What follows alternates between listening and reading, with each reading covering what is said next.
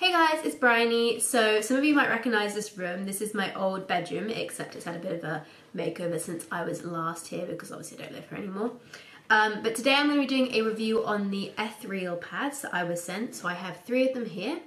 Julianne is the lady who runs Ethereal Pads and she was kind enough to send these to me for free. However, I have not been paid to do this review and it's just all my own personal opinions of what I thought of the pads when I used them myself. So the pads themselves are a soaker design. So this is the panty liner, which is eight inches. You can tell it's the panty liner because it has a P sewn onto the wing, which is actually very easy to tell. It is a very clear V actually, because sometimes you can't work out what um, the embroidery stitches on when certain cloth pad makers do it, but it's very easy to tell on these ones. So this is an 8 inch pad and it does not have any absorbent core to it. However, all her pads are constructed with either a flat cotton or cotton jersey top and a woven cotton back, so it is still two layers of cotton um, in the panty liner.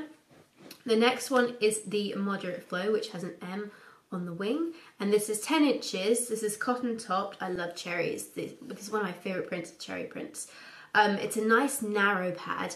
This one has, I believe, two layers of bamboo terry. Yeah, that's right. Two layers of bamboo terry in it, and again, the woven cotton on the back. Still pretty thin, um, but definitely absorbent. That's the 10 inch moderate. And then I also have a 12 inch heavy, which is the H on the wing. This one is cotton jersey tops and a woven cotton back, and it has one layer of bamboo terry and one layer of zorb inside it. And it's a little bit wider in the middle as well. So starting from the panty liner, I'll go through like my opinions on each particular pad. Sorry, that's my phone. Um, on each particular pad and um, I will just share with you like what I thought about it and whether it worked for me or not. So here is the panty liner, which is eight inches.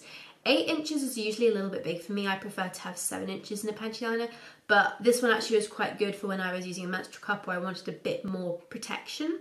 It snaps up nice and narrow, and oddly enough, I am someone who doesn't usually work too well with soaker type. So Soaker pads are basically pads that just have the absorbent core sewn onto a layer of fleece. The cotton doesn't extend out to the wing, um, and we, like I said, we call these soaker pads. Um, but this one actually worked for me, and I think it's because the pads are very are quite narrow in the middle, so they actually fit my underwear well. Otherwise, usually what happens is they tend to kind of bunch up, and then I bleed onto the fleece and obviously it goes through to your underwear and that's never very good. But these ones actually worked for me. So if you're someone like me that doesn't usually work with a soaker style pad because they're usually too wide or they bunch up, this might be one you want to try actually. Um, I really like the pattern on this too. I, I, I would never ever have picked it myself, but it's just really kind of cute and what says Paris on it. Who doesn't love Paris? Um, yeah, just very fashionable, very fashion I don't know what I'm trying to say. You can you can guess what I'm trying to say from this. But yeah, it, this one actually worked pretty well for me and I find that two layers of cotton is more than enough absorbency for me because with a panty liner, it's only ever for backup if I've got discharge and if I'm ovulating or whatever, or I use it as backup to a menstrual cup. Um, in which case I should only have a few specks of blood on there. If I leak more than that, then I need more than the panty liner. But it definitely holds all of that and I didn't have any leaks with any of these pads. The backing on all the pads is anti-pill fleece. So moving on to the 10 inch moderate, I really, really like this one actually. I was a bit concerned because when you, like, if you see the wings out here, they're quite wide and when you fold it up, I was worried that that would mean the pad wouldn't bend much or contour, but as you can see, it easily contours to your body, um, even with the wings being that shape. I think it's because they are a soaker style, so the fleece is much more flexible as it doesn't have like a stiffer cotton fabric um, extending out to them, so it does like flex and bend and contour well to your body. Again, because this is so narrow, it actually works for me because I have very narrow gusset underwear. I have a small bum, so I wear small underwear. Um, probably more like a size six to eight in underwear if that's any help to you guys. And this gusset I would estimate to be about two, two and a half inches wide, uh, which is perfect for me even with a heavy flow. Um, and I use this on a, I use this in my moderate flow, but my moderate flow is not very heavy. Um, so I didn't have any leaks with it, but like I said, I couldn't tell if it was very heavy how it would be, but bamboo fabrics tend to be very absorbent, so I would be confident that this could hold a reasonably heavy flow as well.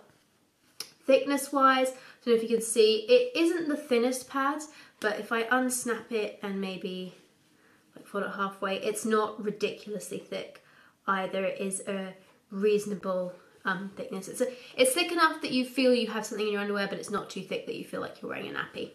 Um, and this one did work very well for me. And like I said, I had no leaks. It didn't bunch up and, you know, pull round. So I leaked off the edge. I didn't have any problems with that. It did fit really well. And it's a lovely style and nice and narrow in the middle. The final one is the 12 inch heavy. Now for me, I when pads get bigger, I find that they don't work as well if the wings are sewn in the center. I need the wings to be further forward because I bleed more to the back. Um, and especially on my heavy days, I'll tend to bleed in the center and backwards. Um, I don't think I had any leaks with this one. I can't recall having any leaks with this. Um, but I would definitely prefer it if the wings had been more towards the front for me personally, just with my body type. Some of you um, might be fine with it in the middle and that's where you need it, just as a general um, you just generally tend to bleed in the center and that would work for you great. This is jersey topped. I've never been a fan of jersey just because it doesn't, I don't know, my body doesn't seem to work for me. I find it quite a wet fabric. Um, but I don't recall feeling wet with this one either. So maybe it was actually, I washed it enough for it to be pretty absorbent.